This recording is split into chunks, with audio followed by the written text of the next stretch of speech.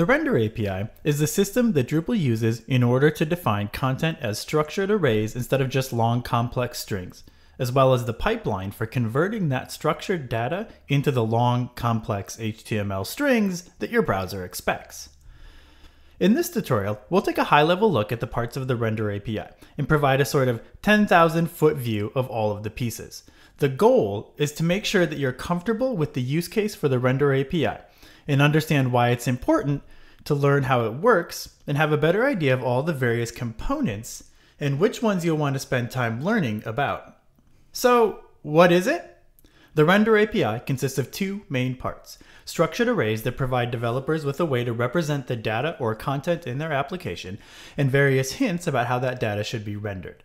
In addition to these structured arrays, there's also the rendering pipeline, the process that Drupal will go through in order to service a request, including gathering render arrays from various system components, determining what format their response should be in, handling caching and cache invalidation, and ultimately rendering a structured array into the desired output format. Anyone writing code for Drupal, whether that's for modules or themes, should take the time to understand, at least at a conceptual level, how render arrays work. Learning the complete render pipeline is less critical and is more useful for people who are actually writing new render arrays from scratch. As the old adage says, you have to know what all the rules are before you can break them. In this tutorial, we'll be focusing primarily on the render arrays piece of the puzzle, but we'll talk a little bit about the pipeline as well. The render pipeline itself is fairly complex. It makes more sense to be broken down into individual tutorials that explain each component and its use. Okay, but why? Why not have modules return a string of HTML that you can just print out to the page? Render arrays allow Drupal to defer the rendering of content to HTML for as long as possible. This gives other components in the stack the opportunity to influence how that content will ultimately be presented. So many modules can work together on the same content. It's also much easier for themes to deal with. Imagine if in your theme you wanted to print out an article node but you want to remove the image field from the main content and print it out elsewhere on the page. If this was already a complete string of HTML, you would either have to resort to regular expressions or the expensive task of recreating the complete HTML that was already created once just to remove something. PHP is much better suited for handling data structured as an array and has all sorts of built-in functionality for manipulating arrays. Structured data can, in theory, be rendered to any format, not just HTML. And finally, the Render API provides some really awesome ways to encapsulate complex logic into reusable elements. Here's an example of what this all looks like. In image 1, we've got a render array, or at least a subsection of one. The content in question is an image uploaded to an article node via an image field. If you look closely, you can see that the render array contains information like the ID of the file entity representing this image, the alt, the title, that was entered by the user, and the image style that is configured to be used with this field. It's all an array, and could, if necessary, be altered by your theme. When the render array is output by Twig, the render pipeline is automatically invoked, and the HTML renderer converts this structured data into the string of HTML in image 2. There's that alt tag again, which, when displayed to the user, ultimately looks like the image they expect to see alongside their content.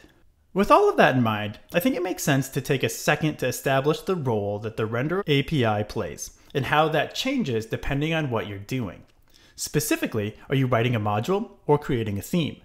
Module developers should make sure that they always represent their content as Render API arrays. They can define new element types in order to bundle up complex functionality as needed, and they can influence the rendering pipeline.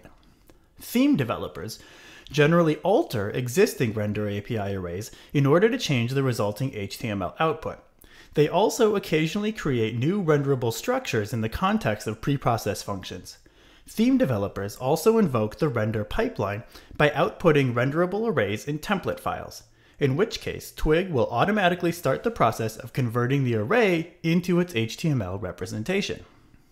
Now that you know why the Render API exists, here are the things we're going to cover, listed roughly in the order you're likely going to need to learn them. Render arrays, which are the core structure of the Render API, are structured arrays used to define content and hints as how that content should be rendered.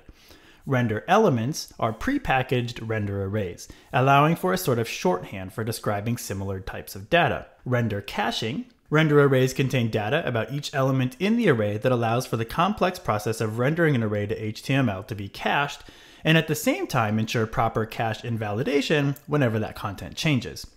And finally, the complete render pipeline, which is the process that Drupal goes through to convert an incoming HTTP request into a render array, and then render that array to HTML via a renderer, and finally return a response to the requesting browser. It's probably also worth pointing out that the Render API plays an important role in Drupal's HTML form processing system. All forms in Drupal are created as form arrays, which are a superset of Render API arrays. That is, anything a content render array can do, a form array can do too. Forms, however, also have some additional processing features that won't work for a content array. For example, you can't perform validation of elements in a content array. Knowing how the Render API works is essential for anyone working with forms in Drupal. And that's the 10,000 foot overview of the Drupal Render API. In this tutorial, we said that the Render API exists to defer the rendering of content to HTML in order to allow easier processing during the lifecycle of a request.